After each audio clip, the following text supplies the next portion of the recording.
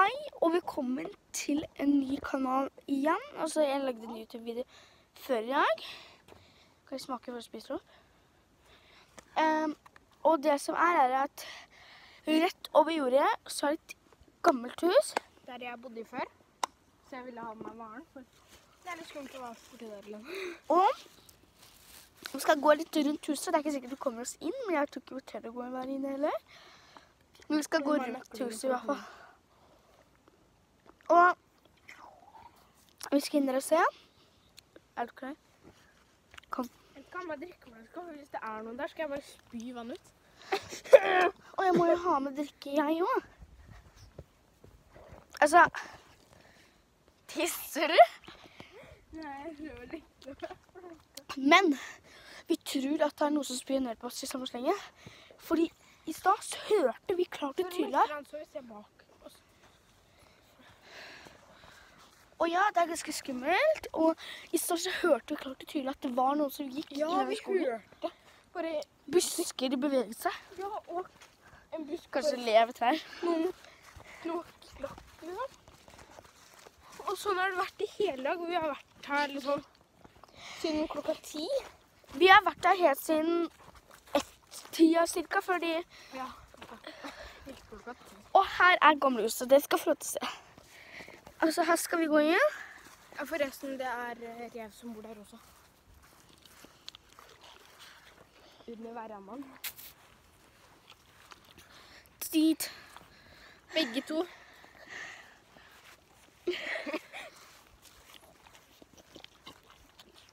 Jeg føler meg redd fordi at Det er ute du er hvis vi må på do. Jeg er bare redd hvis mamma og pappa er her. Ja, det, det var det veldig ødelagt ute. Tenk om det er noen som stirrer oss i vinduet. Ja, sier jeg inn det vinduet før. Det er bare mørkesmann der. Herre! Er du redd? så, nei, egentlig ikke, for det var ikke så lenge siden jeg var her sist. Er, Da gikk vi nesten inn. er du klar, Mie? Jeg Vi gå rundt huset? Nei. Jo! Hvorfor ikke? Er? Ok, vi kan holde oss her da når vi går rundt. Hørte du det?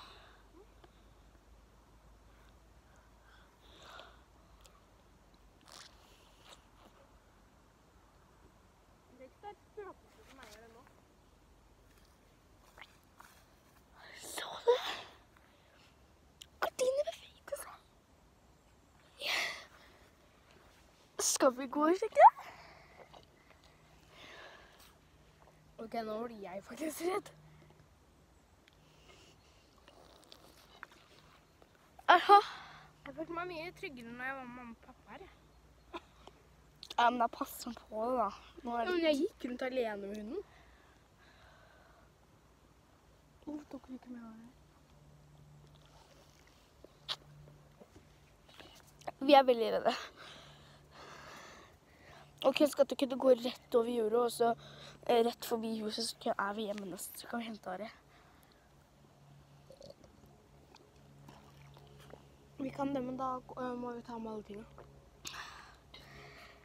Vi kan er- hente syklene våre, så, så kan vi øh, sykle rundt og utforske. Da tar vi med Ari. Ariel. Sykle med Ariel? Oi.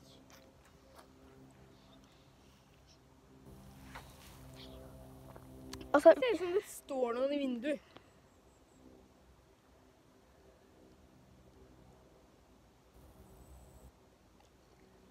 jeg ser ingen.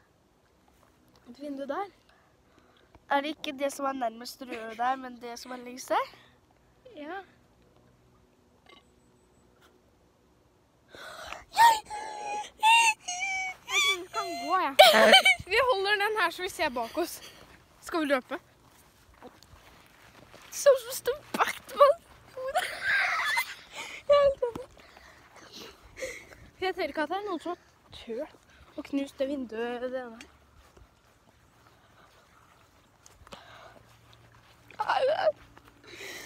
Det er så Det er kjempeskummelt. Det bor noen der, herregud. Bor noen der? Nå? I don't ikke... Tenk om jeg var så redd at jeg bare Herregud. jøss. Unnskyld, vi turte ikke å gå rundt der. Jeg tror jeg egentlig tør. Ja, det tror jeg egentlig jeg òg, men jeg er redd for at den skal ta meg. Det er det eneste. Jeg er redd for at Momo er der. Jeg- Mm. Nei, ikke uh, Momo. Det er amma jeg har sett. Uh, Annabelle. Det er hun jeg har drømt om. Jeg ha så ta Vi Det skjer noe som står i Altså, jeg pleier å ha mareritt om dette stedet hver gang jeg er her. Tenk at jeg blitt født inni her, liksom. Men det er jo lenge siden. Det var liksom ett år, så flytta vi. Jeg lurer på hvordan spøkelsene lever der. De har i hvert fall rotete. Og Spøkelser rydder aldri opp etter seg. Det er én ting vi må se i det huset her. Om det har forandra seg eller ikke på stua. For der husker Jeg har et bilde inni huet hvordan det ser ut der.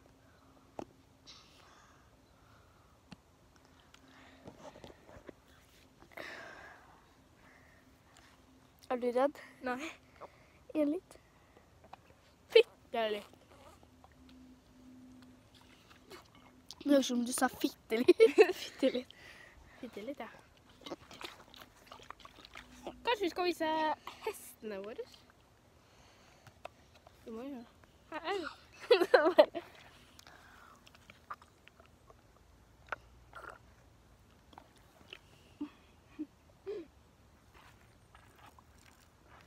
Oi. Mm. Skal vi gå litt nærmere? Ja!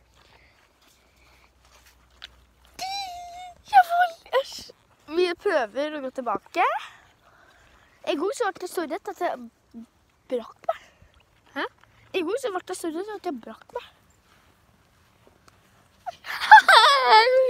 Herregud. Denne YouTube-videoen der vært i sju minutter.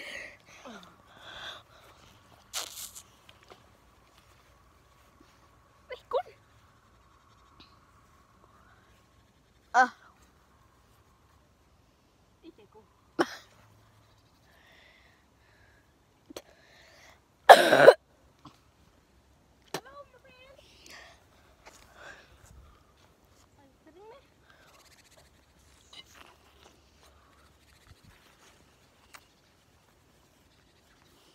Hva er det med de fuglene?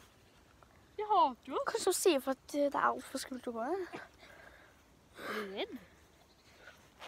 Å, det ser ut som det står noe. Jeg husker at du kunne spørre om Vent.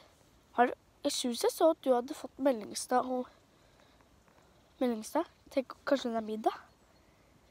Jeg Er sulten? Ja, men jeg syns Det kan hende det var meg som fikk eh, melding. Skal vi gå ned, da? Ja. Se på beina mine. Oh yeah, oh yeah. Og så når det kommer noen bare Jeg drøkker jo, herregud, da har jeg ingen kanin.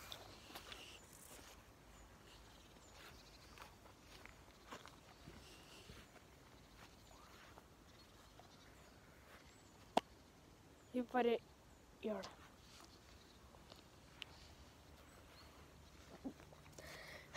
Vi ikke å gå. Nå stopper vi ikke å gå. Herregud, vi var nesten ved trappa der i stad. Ja, men det som er, er at Det som er, er at Tenk om du faktisk ser noen på oss nå, men de er usynlige lite grann. Det er på en måte en grå skygge man kan se, da.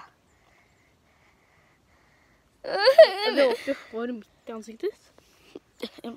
Piller over det. Hvilket står Jeg vet ikke hvorfor vi måtte ta av flasken igjen. Og du er mer med. Du! Ja, men jeg skal kjenne! Min flaske. Bjørn. Bjørn. Det er Arild sin. Vent. Nei. Nei. Hvem andre har vært der da? Ja, Next. Vi ser på bæsj. Nå hørte jeg det dunka fra der. Jeg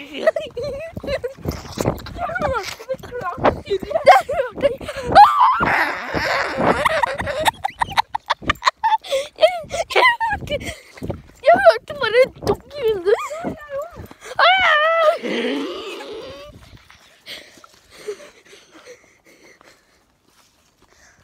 Jeg hørte bare Oi, vi har glemt å filme.